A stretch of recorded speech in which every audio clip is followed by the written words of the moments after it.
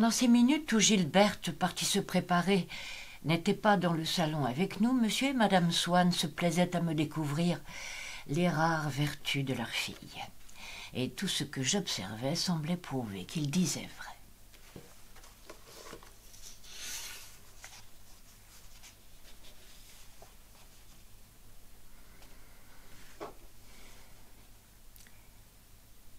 Je remarquais que, comme sa mère me l'avait raconté, elle avait non seulement pour ses amis, mais pour les domestiques, pour les pauvres, des attentions délicates, longuement méditées par un désir de faire plaisir, euh, une peur de mécontenter, se traduisant par de petites choses qui souvent lui donnaient beaucoup de mal. Elle avait fait un ouvrage pour notre marchande des Champs-Élysées, et sortit par la neige pour le lui remettre elle-même, et sans un jour de retard n'avait pas idée de ce qu'est son cœur, car elle le cache, disait son père.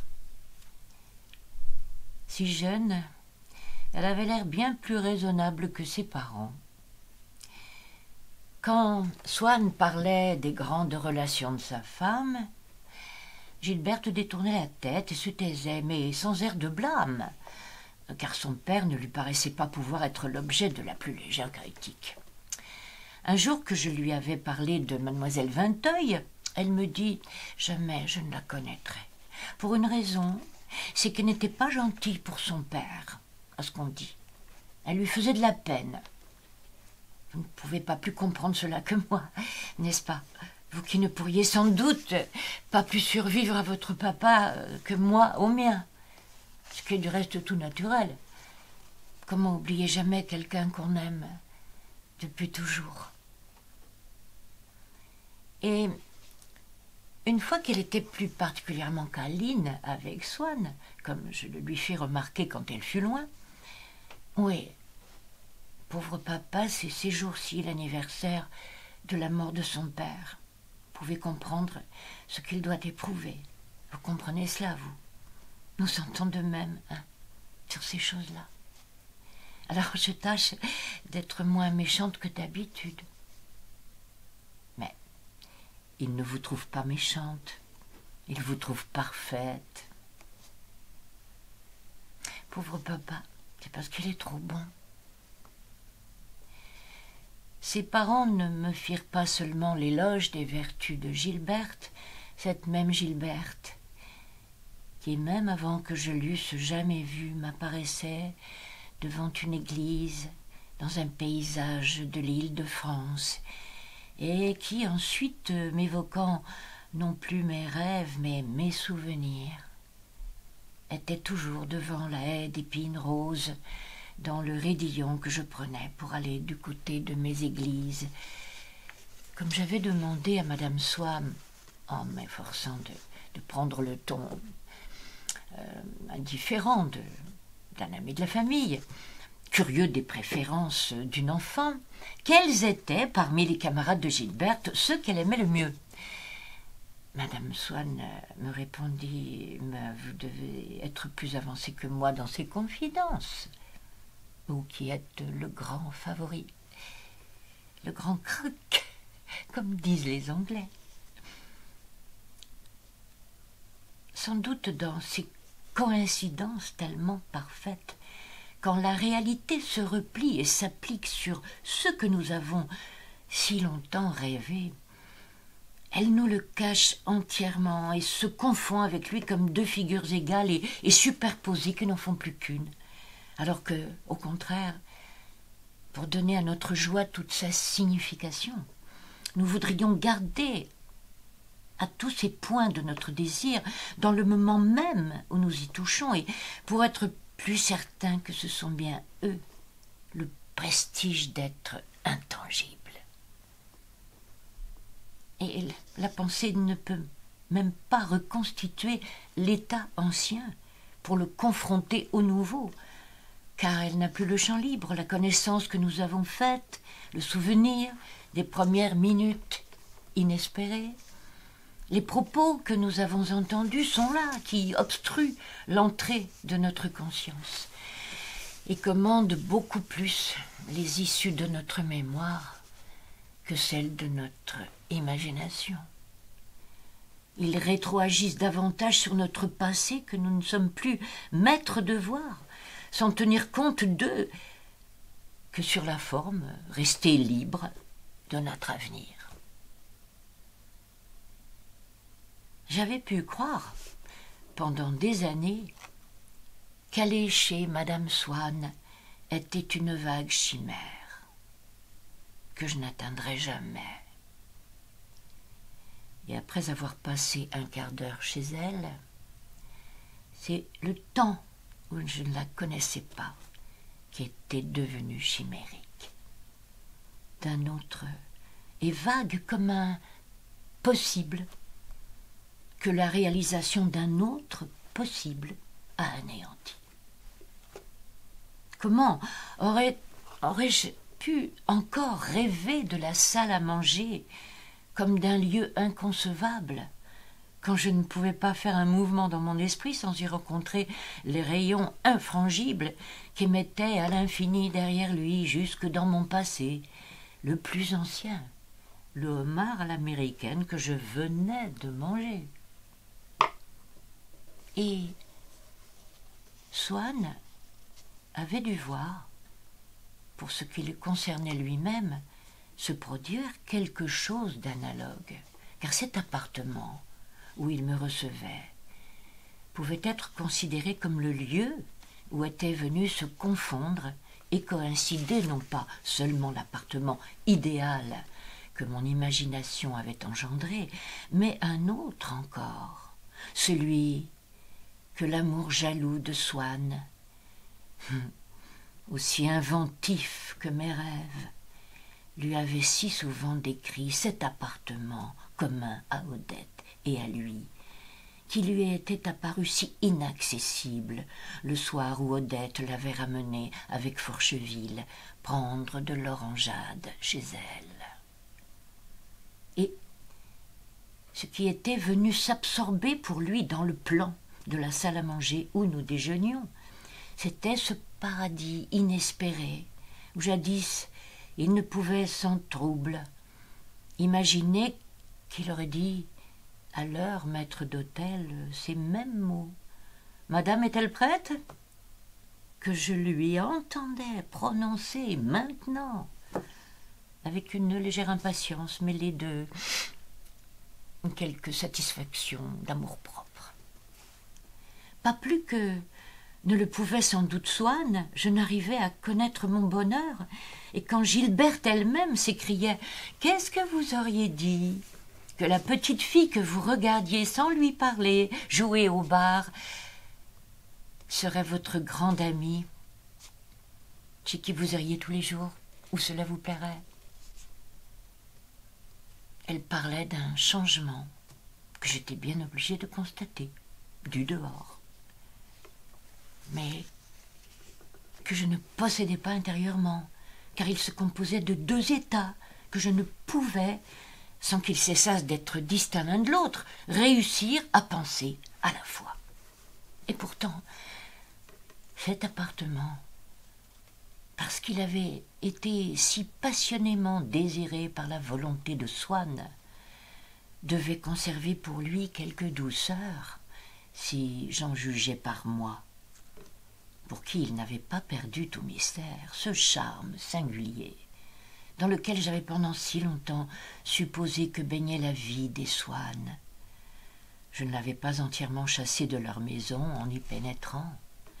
Je l'avais fait reculer, dompté qu'il était par cet étranger, ce paria que j'avais été, et à qui madame mademoiselle Swann avançait maintenant, gracieusement, pour qu'il y prît place un fauteuil délicieux, mais hostile et scandalisé. Mais tout autour de moi, ce charme, dans mon souvenir, je le perçois encore.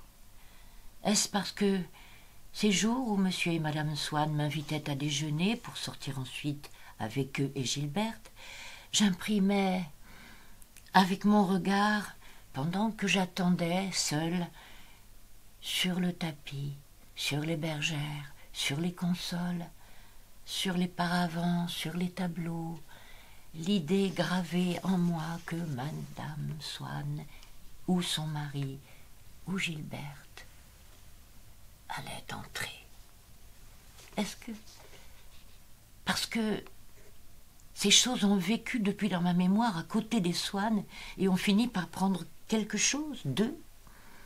Est-ce que, sachant qu'ils passaient leur existence au milieu d'elles, je faisais de toutes comme les emblèmes de leur vie particulière, de, de leurs habitudes, dont j'avais été trop longtemps exclue, pour qu'elles ne continuassent pas à me sembler étrangères, même quand on me fit la faveur de m'y mêler.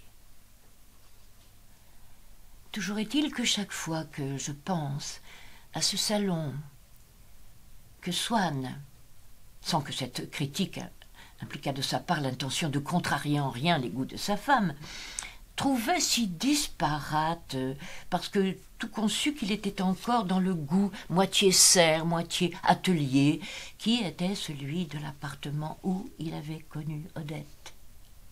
Elle avait pourtant commencé à remplacer dans ce fouillis nombre des objets chinois qu'elle trouvait maintenant un peu tocs. Eh bien, à côté, par une foule de petits meubles tendus de vieille soie, Louis XIV, sans compter les chefs-d'œuvre apportés par Swann de l'hôtel du quai d'Orléans. Il a au contraire dans mon souvenir ce salon composite une cohésion, une unité, un charme individuel que n'ont jamais même les ensembles les plus intacts que le passé nous a légués, ni les plus vivants où se marque l'empreinte d'une personne. Car nous seuls pouvons, par la croyance qu'elles ont une existence à elles, donner à certaines choses que nous voyons une âme, qu'elle garde ensuite et qu'elle développe en nous. Toutes les idées que je m'étais faites des heures différentes de celles qui existent pour les autres hommes, que passaient les Swann dans cet appartement, qui était pour le temps quotidien de leur vie ce que le corps est à l'âme, et qui devait en exprimer la singularité. Toutes ces idées étaient réparties, amalgamées, partout également troublantes et indéfinissables, dans la place des meubles, dans l'épaisseur des tapis, dans l'orientation des fenêtres, dans le service des domestiques. Quand après le déjeuner nous allions au soleil prendre le café dans la grande baie du salon, tandis que Madame Swann me demandait combien je voulais de morceaux de sucre dans mon café. Ce n'était pas seulement le tabouret de soie qu'elle poussait vers moi, qui dégageait avec le charme douloureux que j'avais perçu autrefois sous l'épine rose, puis à côté du massif de laurier, dans le nom de Gilberte, l'hostilité que m'avaient témoigné ses parents, et que ce petit meuble semblait avoir si bien su et partagé. Je ne me sentais pas digne, et je, me trouvais un peu lâche d'imposer mes pieds à son capitonnage sans défense. Une âme personnelle le reliait secrètement à la lumière de deux heures de l'après-midi différentes de ce qu'elle était partout ailleurs dans le golfe, où elle faisait jouer à nos pieds ces flots d'or, parmi lesquels les canapés bleuâtres et les vaporeuses tapisseries émergeaient comme des îles enchantées. Et il n'était pas jusqu'au tableau de Rubens, accroché au-dessus de la cheminée, qui ne possédât lui aussi le même genre et presque la même puissance de charme que les bottines à lacets de Swann et ce manteau à pèlerine dont j'avais tant désiré porter le pareil. et que maintenant Odette demandait à son mari de remplacer par un autre pour être plus élégant, quand je leur faisais l'honneur de sortir avec eux. Elle allait s'habiller, elle aussi, aussi bien que j'eusse protesté qu'aucune robe de ville ne vaudrait à beaucoup près la merveilleuse robe de chambre, de crêpe de Chine ou de soie, vieux rose, cerise, rose tiepolo, blanche, mauve, verte, rouge, jaune, unie, à dessin, dans laquelle Madame Swann avait déjeuné et qu'elle allait ôter. Quand je disais qu'elle aurait dû sortir ainsi, elle riait par moquerie de mon ignorance ou plaisir de mon compliment. Elle s'excusait de posséder tant de peignoirs parce qu'elle prétendait qu'il n'y avait que là-dedans qu'elle se sentait bien. Et elle nous quittait pour aller mettre une de ces toilettes souveraines qui s'imposaient à tous et entre lesquelles pourtant j'étais parfois appelée à choisir celle que je préférais qu'elle revêtît.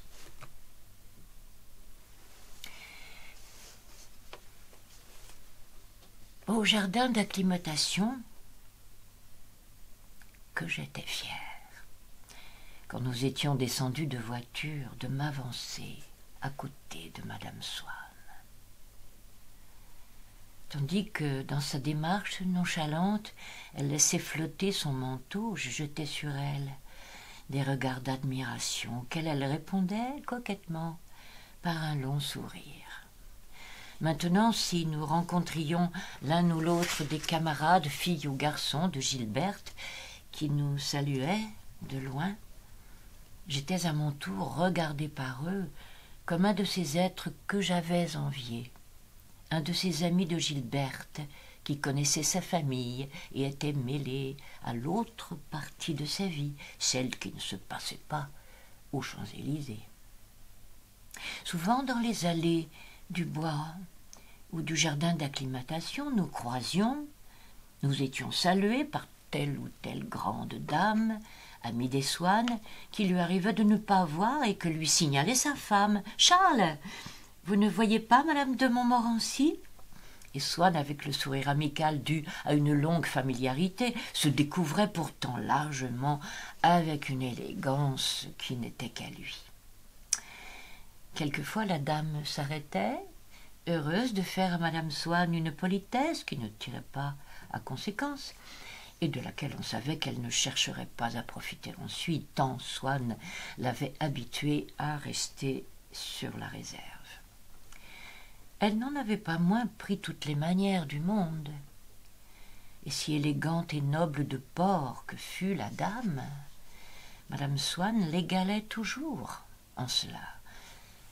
Arrêtée un moment auprès de l'amie que son mari venait de rencontrer, elle nous présentait avec tant d'aisance Gilberte et moi, gardait tant de liberté, de calme, dans son amabilité qu'il eût été difficile de dire qui de la femme de Swann ou de l'aristocratique passante laquelle des deux était la grande dame.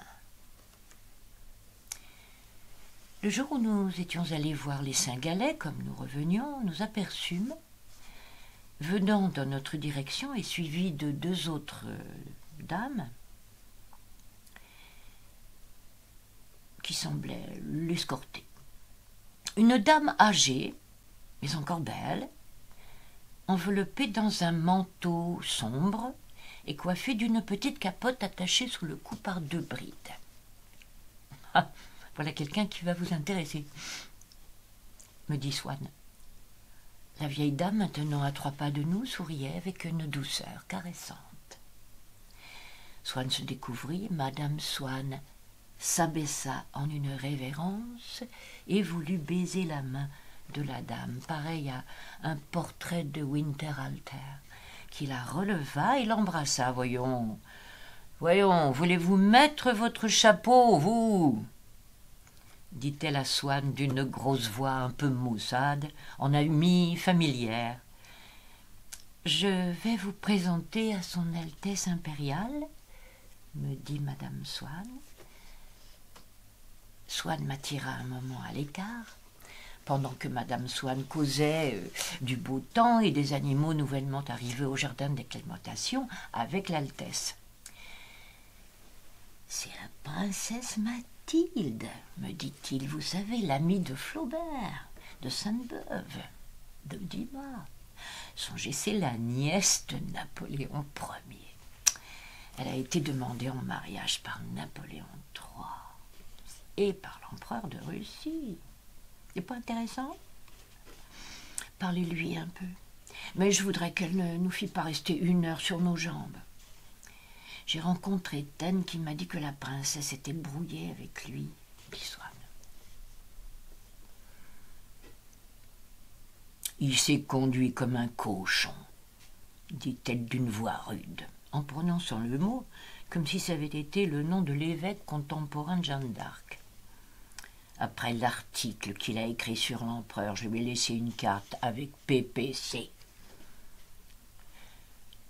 J'éprouvais la surprise qu'on a en ouvrant la correspondance de la duchesse d'Orléans née palatine. Princesse palatine.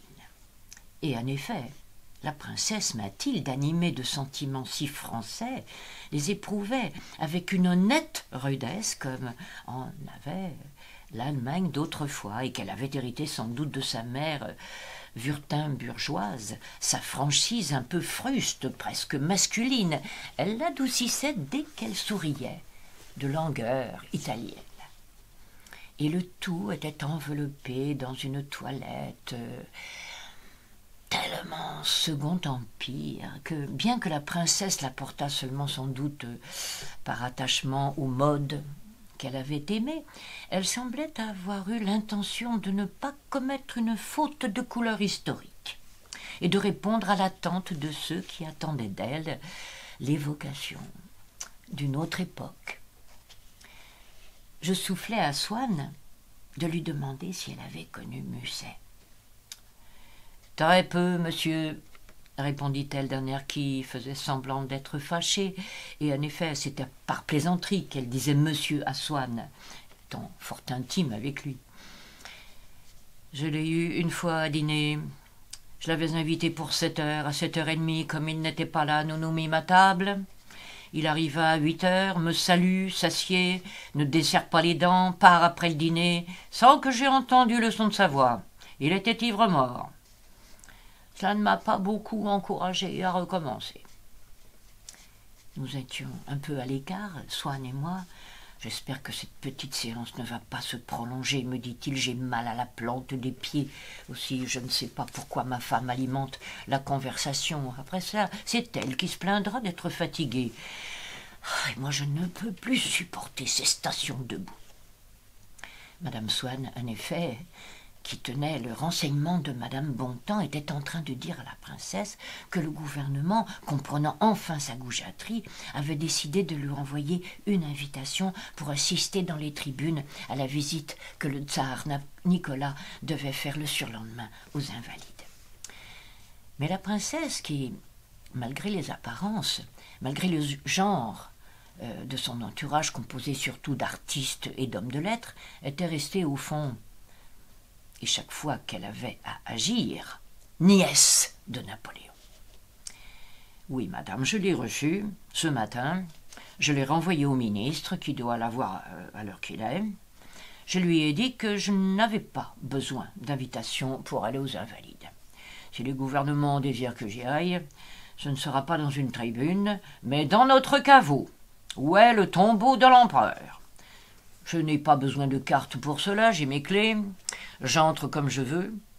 Le gouvernement n'a qu'à me faire savoir s'il désire que je vienne ou non, mais si j'y vais, ce sera là, et pas ou pas du tout. À ce moment, nous fîmes saluer, Madame Swann et moi, par un jeune homme qui lui dit bonjour sans s'arrêter, et que je ne savais pas qu'elle connut. Bloch, sur une question que je lui posais, Madame Swann me dit qu'il lui avait été présenté par Madame Bontemps et qu'il était attaché au cabinet du ministre, ce que j'ignorais. Du reste, elle ne devait pas l'avoir vu souvent, ou bien elle n'avait pas voulu citer le nom. Trouvé peut-être par elle peu chic de Bloch. Car elle dit qu'il s'appelait Monsieur Morel. Je lui assurais qu'elle confondait, qu'il s'appelait Bloch. La princesse redressa une traîne qui se déroulait derrière elle et que madame Swann regardait avec admiration. C'est justement une fourrure que l'empereur de Russie m'avait envoyée, dit la princesse, et comme j'ai été le voir tantôt, je l'ai mise pour lui montrer que cela avait pu s'arranger en manteau. Il paraît que le prince Louis s'est engagé dans l'armée russe. La princesse va être désolée de ne plus la voir près d'elle, dit madame Swann, qui ne voyait pas les signes d'impatience de son mari. Il, avait besoin de cela. Comme je lui ai dit, ce n'est pas une raison parce que tu as eu un militaire dans la famille. Il répondit la princesse, faisant avec cette brusque simplicité allusion à Napoléon Ier. Swann ne tenait plus en place. Madame, c'est moi qui vais faire l'altesse et, vous demander la permission de prendre congé, mais ma femme a été très souffrante et je ne veux pas qu'elle reste davantage immobile. Madame Swann refit la révérence et, et la princesse eut pour nous tous un divin sourire qu'elle sembla mener du passé, des grâces de sa jeunesse des soirées de Compiègne, et qui coula intact et doux sur le visage, tout à l'heure grognon, puis s'éloigna, suivi des deux dames d'honneur qui n'avaient fait à la façon d'interprète de bonne d'enfant ou de garde-malade que ponctuait notre conversation de phrases insignifiantes et d'explications inutiles. Vous devriez aller écrire votre nom chez elle un jour de cette semaine, me dit madame Swann. On ne corne pas de Bristol à toutes ses royalties, comme disent les Anglais, mais elle vous invitera, si vous vous faites inscrire.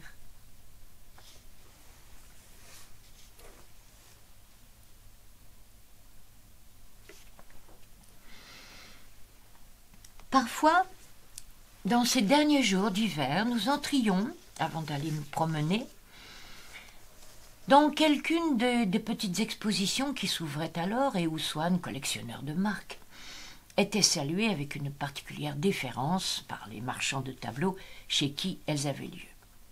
Et par ces temps encore froids, mes anciens désirs de partir pour le midi et Venise étaient réveillés par ces salles où un printemps déjà avancé et un soleil ardent mettaient des reflets violacé sur les alpilles roses et donnait la transparence foncée de l'émeraude du grand canal. S'il faisait mauvais, nous allions au concert ou au théâtre et goûter ensuite dans un thé.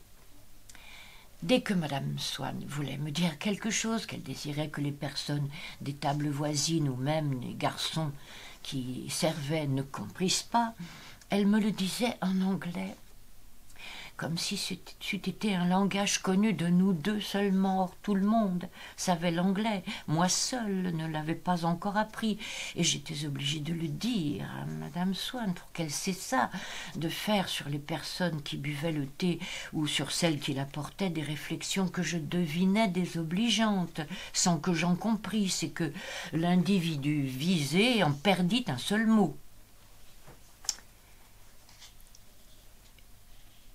Une fois, à propos d'une matinée théâtrale, Gilberte me causa un étonnement profond. C'était justement le jour où, dont elle m'avait parlé d'avance, où tombait l'anniversaire de la mort de son grand-père. Nous devions, elle et moi, aller entendre avec son institutrice les fragments d'un opéra, et Gilberte était habillée dans l'intention de se rendre à cette exécution musicale, gardant l'air euh, d'indifférence euh, qu'elle avait l'habitude de montrer pour la chose que nous devions faire, disons que ce pouvait être n'importe quoi, pourvu que cela me plût et fût agréable à ses parents. Avant le déjeuner, sa mère nous prit à part pour lui dire que cela ennuyait son père de nous voir aller au concert ce jour-là. Je trouvais que c'était trop naturel. Gilberte resta impassible, mais devint pâle, d'une colère qu'elle ne put cacher, et ne dit plus un mot. Quand M. Swann revint, sa femme l'emmena à l'autre bout du salon et lui parla à l'oreille. Il appela Gilberte, la prit à part, dans la pièce à côté. On entendit des éclats de voix. Je ne pouvais cependant pas croire que Gilberte, si soumise, si tendre, résista à la demande de son père un jour pareil et, et pour une cause si insignifiante. Enfin, Swann sortit en lui disant Tu sais ce que je t'ai dit, maintenant fais ce que tu voudras. La figure de Gilberte resta contractée pendant tout le déjeuner, après lequel nous allâmes dans sa chambre. Puis tout d'un coup, sans une hésitation, comme si elle n'en avait eu à aucun moment, deux heures s'écria-t-elle, mais vous savez que le concert commence à deux heures et demie. Et elle dit à son institutrice de se dépêcher. Mais lui dis-je, est-ce que cela n'ennuie pas votre père? Pas le moins du monde. Cependant, il avait peur que cela ne semble bizarre à cause de cet anniversaire. Qu'est-ce que cela peut me faire? Que ce que les autres pensent? Je trouve ça grotesque de s'occuper des autres dans des choses de sentiment. On sent pour soi, pas pour le public. Mademoiselle, qui a si peu de distraction, se fait une fête d'aller au concert. Je ne veux pas l'en priver pour faire plaisir au public. Elle prit son chapeau. Mais Gilberte, lui dis-je en lui prenant le bras, ce n'est pas pour faire plaisir au public, c'est pour faire plaisir à votre père. Vous n'allez pas me faire d'observation, j'espère, me cria-t-elle d'une voix dure, se dégageant vivement.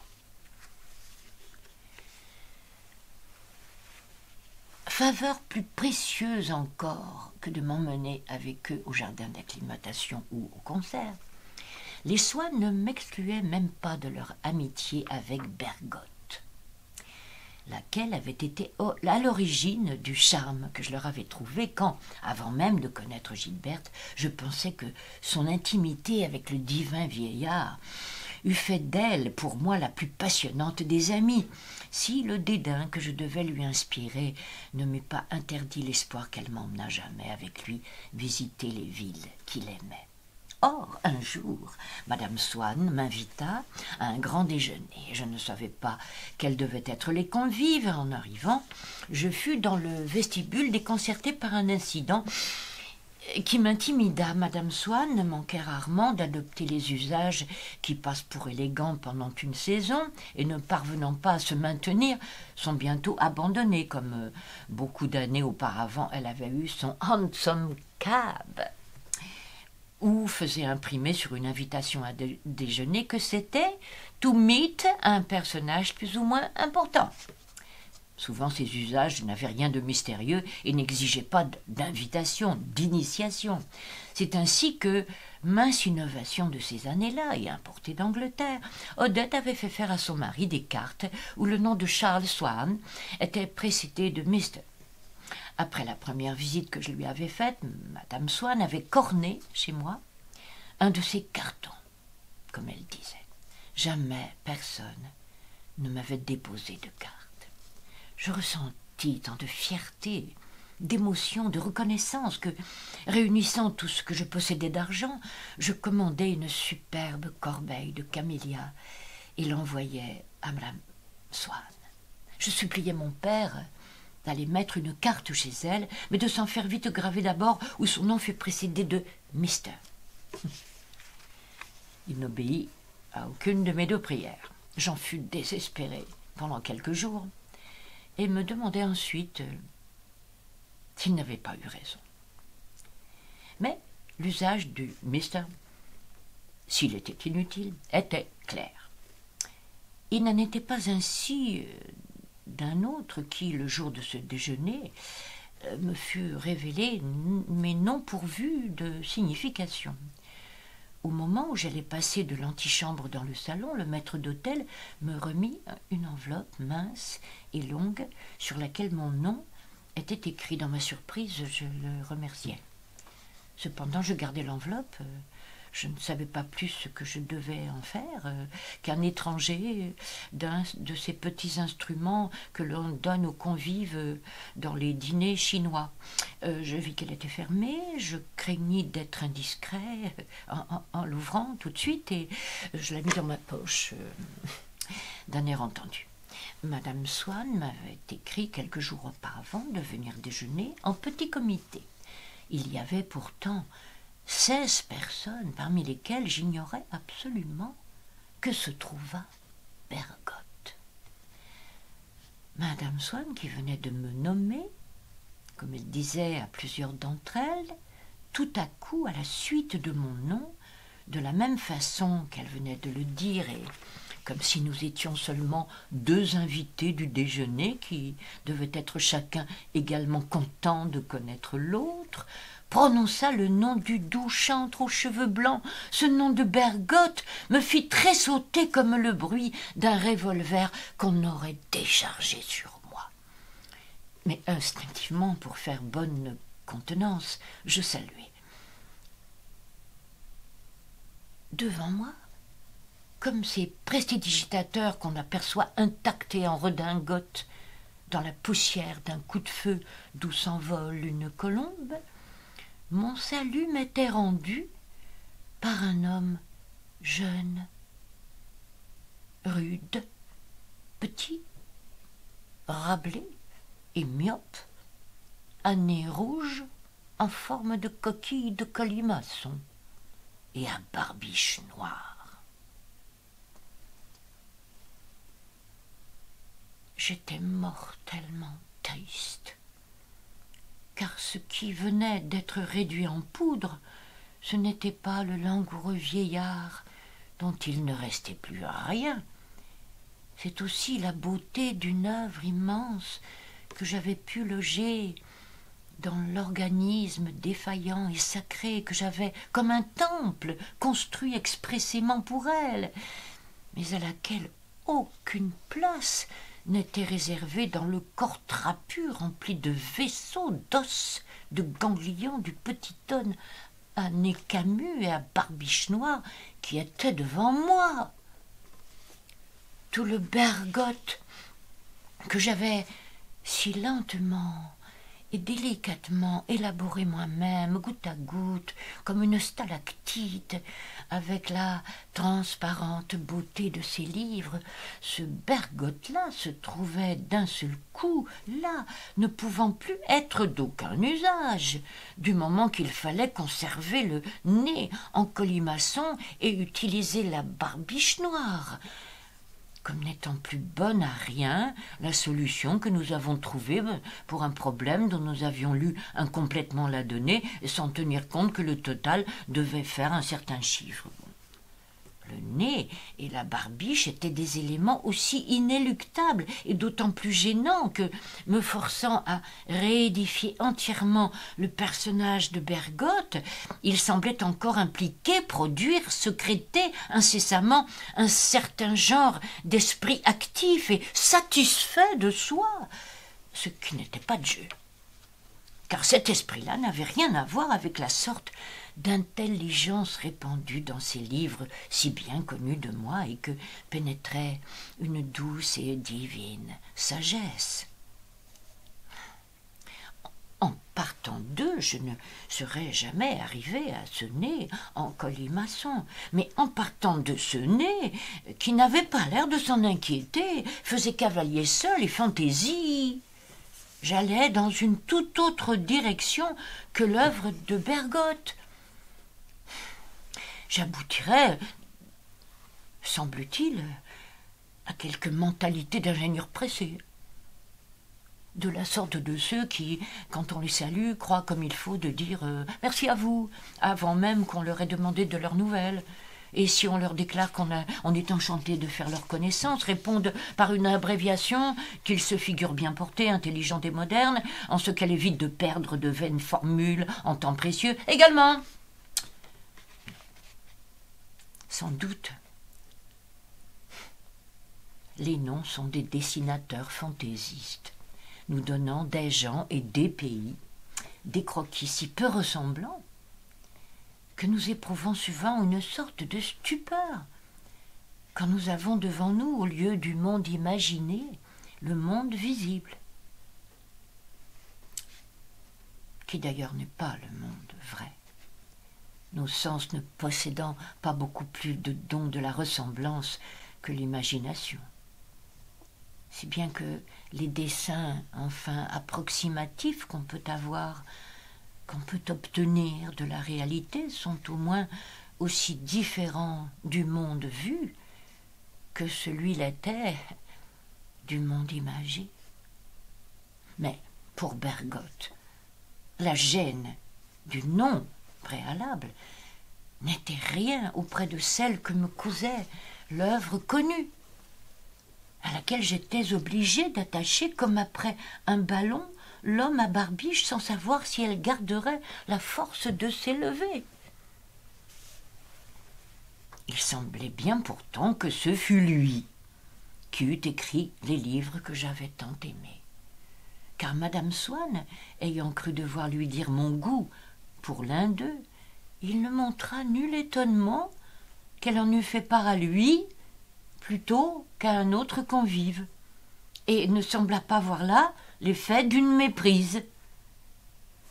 Mais emplissant la redingote qu'il avait mise en l'honneur de tous ses invités, d'un corps avide du déjeuner prochain, ayant son attention occupée à d'autres réalités importantes, ce ne fut comme euh, un épisode révolu de sa vie intérieure, antérieure, comme si on, avait fait allusion à un costume du duc de Guise qui lui mit une certaine année un bal costumé. Qu'il sourit en se reportant à l'idée de ces livres, lesquels aussi déclinèrent pour moi, entraînant dans leur chute toute la valeur du beau, de l'univers, de la vie, jusqu'à n'avoir été que quelques médiocres divertissements d'hommes à barbiche. Je me disais qu'il avait dû s'appliquer, mais que s'il avait vécu dans une île entourée par des bancs d'huîtres perlières, euh, il se fut à la place livré avec succès au commerce des perles. Son œuvre ne me semblait plus aussi inévitable. Et alors je me demandais si l'originalité prouve vraiment que les grands écrivains soient des dieux régnant chacun dans un royaume qui n'est qu'à lui, ou bien s'il n'y a pas dans tout cela un peu de feinte, si les différences entre les œuvres ne seraient pas le résultat du travail, plutôt que l'expression d'une différence radicale d'essence entre les diverses personnalités. Cependant, on était passé à table. À côté de mon assiette se trouvait un œillet dont la tige était enveloppée dans du papier d'argent. Il m'embarrassa, moins que n'avait fait l'enveloppe remise dans l'antichambre et que j'avais complètement oublié. L'usage pourtant nouveau pour moi me parut plus intelligible quand je vis tous les convives masculins s'emparer d'un œillet semblable qui accompagnait leur couvert et l'introduire dans la boutonnière de leur redingote. Je fis comme eux, avec cet air naturel euh, d'un libre penseur dans une église, lequel ne connaît pas la messe, mais se lève quand tout le monde se lève et se met à genoux à peu près euh, que tout le monde s'est mis à genoux. Un peu après. Un autre usage inconnu, au moins éphémère, me déplut davantage. De l'autre côté de mon assiette, il y avait il en avait une plus petite, remplie d'une matière noirâtre que je ne savais pas être du caviar. J'étais ignorant de ce qu'il fallait en faire, mais résolu de n'en pas manger. Bergotte n'était pas placé loin de moi, j'entendais parfaitement ses paroles. Je compris alors l'impression de M. de Norpois. Il avait en effet un organe bizarre. Rien n'altère autant les qualités matérielles de la voix que de contenir la pensée. La sonorité des diphtongues, l'énergie des labiales en sont influencées. La diction l'est aussi. La sienne me semblait entièrement différente de sa manière d'écrire, et même les choses qu'il disait de celles qui remplaçaient, qui remplissaient ses ouvrages. Mais la voix sort d'un masque sous lequel elle ne suffit pas à nous faire reconnaître d'abord un visage, que nous avons vu à découvert dans le style, dans certains passages de la conversation, où Bergotte avait l'habitude de se mettre à parler d'une façon qui ne paraissait pas affectée et déplaisante qu'à M. de Norpois. J'ai été long à découvrir une exacte correspondance avec la partie de ses livres où sa forme devenait si poétique si musicale. Alors il voyait dans ce qu'il disait une beauté plastique indépendante de la signification des phrases. Et comme la parole humaine est en rapport avec l'âme, mais sans l'exprimer dans le style, Bergotte avait l'air de, de, parler à contresens, psalmodiant certains mots, et s'il poursuivait au-dessous d'eux une seule image, les filant sans intervalle comme un même son avec une fatigante monotonie.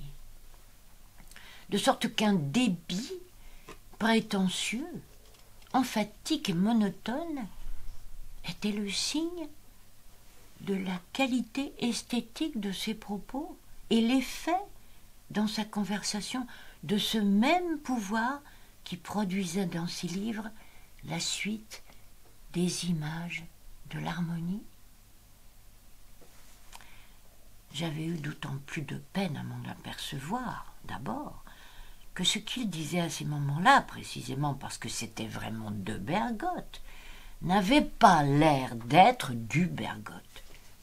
C'était un foisonnement d'idées précises, non incluses dans ce genre Bergotte que beaucoup de chroniqueurs s'étaient appropriés. Et cette dissemblance était probablement vue d'une façon trouble à travers la conversation, comme une image derrière un verre fumé. Un autre aspect de ce fait que quand on lisait une page de Bergotte, elle n'était jamais ce qu'aurait écrit n'importe lequel de ces plats imitateurs, qui pourtant, dans le journal et dans le livre, ornaient leur prose de tant d'images et de pensées à la bergotte. Cette différence dans le style venait de ce que le bergotte était avant tout quelque élément précieux et vrai, caché au cœur de quelque chose puis extrait d'elle par ce grand écrivain, grâce à son génie, extraction qui était le but du doux chantre, et non pas de faire du bergotte. À vrai dire, il en faisait malgré lui, puisqu'il était bergotte, et qu'en ce sens, chaque nouvelle beauté de son œuvre était la petite quantité de bergotte enfouie dans une chose et qu'il en avait tirée. Mais si par là chacune de ces beautés était apparentée avec les autres et reconnaissable, elle restait cependant particulière, comme la découverte qu'il avait mise à jour, nouvelle, par conséquent différente de ce qu'on appelait le genre bergotte, qui était une vague synthèse des bergottes déjà trouvées et rédigées par lui, lesquelles ne permettait nullement à des hommes sans génie d'augurer de ce qu'ils découvriraient ailleurs. Il en est ainsi pour tous les grands écrivains. La beauté de leurs phrases est imprévisible, comme est celle d'une femme qu'on ne connaît pas encore. Elle est création, puisqu'elle s'applique à un objet extérieur auquel ils pensent et non à soi, et qu'ils n'ont pas encore exprimé.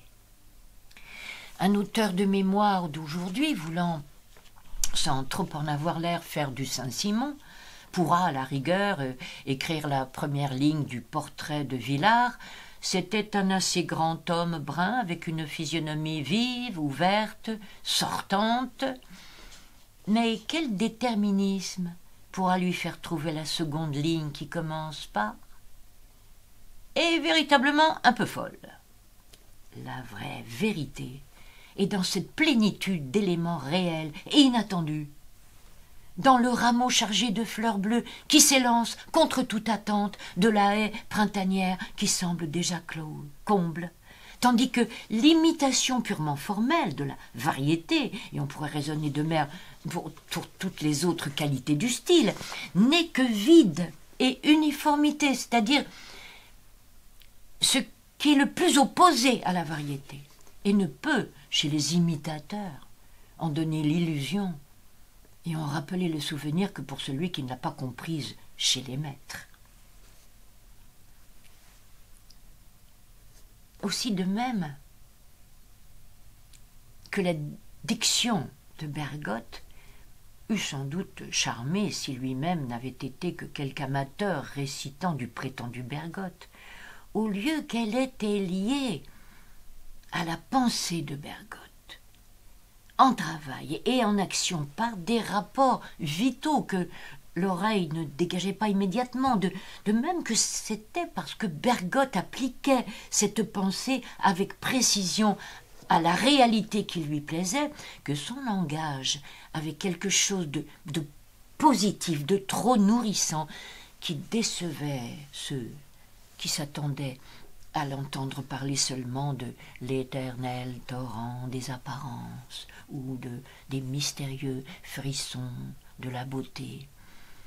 Enfin, la qualité toujours rare et neuve de ce qu'il écrivait se traduisait dans sa conversation par une façon si subtile d'aborder une question, en négligeant tous ces aspects déjà connus, qu'il avait l'air de la prendre par un petit côté, d'être dans le faux, de, de, faire du paradoxe, et qu'ainsi ses idées semblaient le plus souvent confuses. Oui, chacun appelant idées claires celles qui sont au même degré de confusion que les siennes propres. D'ailleurs, toute nouveauté ayant pour condition l'élimination préalable du poncif auquel nous étions habitués et qui nous semblait la réalité même, toute conversation neuve, aussi bien que toute peinture, toute musique originale, paraîtra toujours alambiquée et fatigante. Elle repose sur des figures auxquelles nous ne sommes pas accoutumés. Le causeur nous paraît ne parler que par métaphore, euh, ce qui lasse, et donne l'impression de manque de vérité. Au fond, les, les anciennes formes de langage avaient été elles aussi autrefois des images difficiles à suivre quand l'auditeur ne connaissait pas encore l'univers qu'elles peignaient. Mais depuis longtemps on se figure que c'est dans l'univers réel on se repose sur lui. Ainsi qu'en Bergotte, ce qui semble pourtant bien simple aujourd'hui, disait de Cottard que c'était un ludion qui cherchait son équilibre ou de Brichot que plus encore que Madame Swann, le soin de sa coiffure lui donnait de la peine parce que, doublement préoccupé de son profil et de sa réputation, il fallait à tout moment que l'ordonnance de sa chevelure lui donnât l'air à la fois d'un lion et d'un philosophe. Oui, on éprouvait vite de la fatigue. On eût voulu on eût voulu reprendre pied sur quelque chose de plus concret, euh, disait-on, pour signifier de plus habituel. Les paroles méconnaissables sorties du masque que j'avais sous les yeux, c'était bien à l'écrivain que j'admirais qu'il fallait les rapporter. Elle n'aurait pas su s'insérer dans ses livres à la façon d'un puzzle qui s'encadre entre d'autres. Elles étaient dans un autre plan et nécessitait une transposition, moyennant laquelle un jour je me répétais des phrases que j'avais entendu dire à Bergotte. J'y retrouvais toute l'armature de son style écrit, dont je pus reconnaître et nommer les différentes pièces dans ce discours parlé, qui m'avait paru si différent.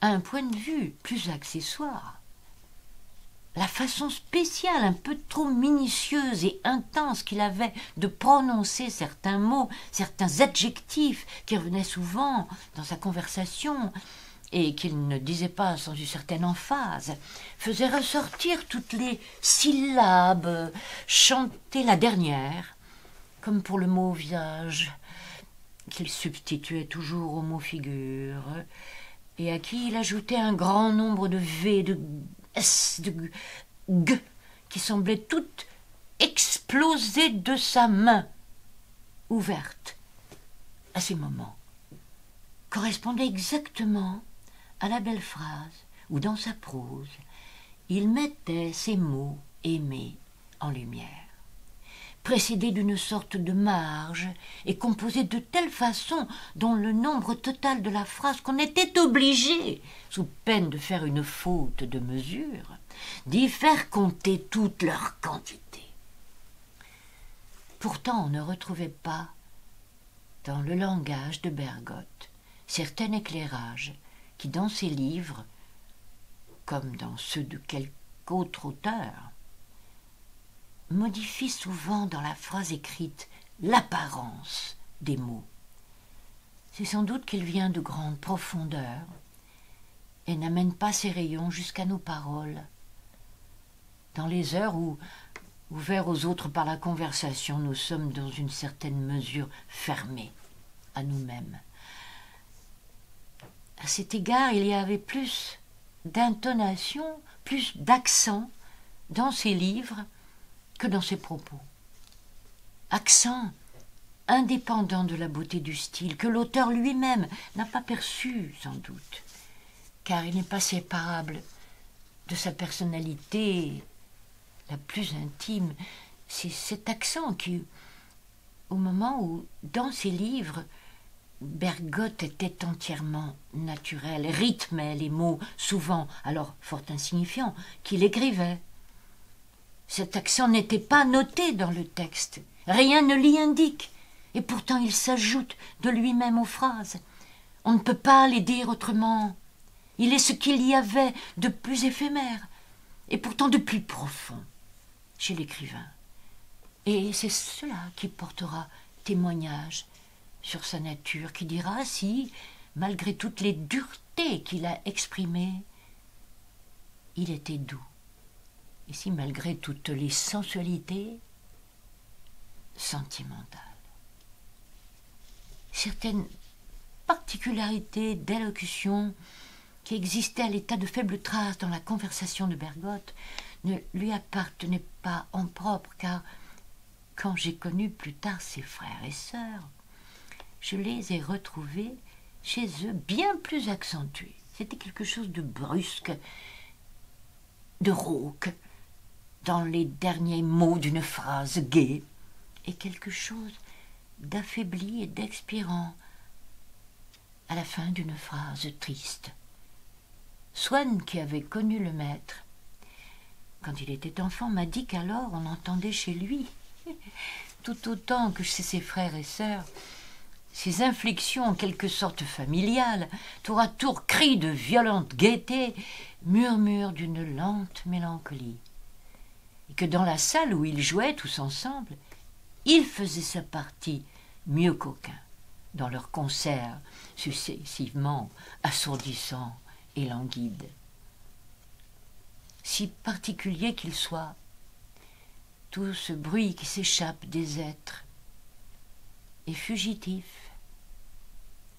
et ne leur survit pas.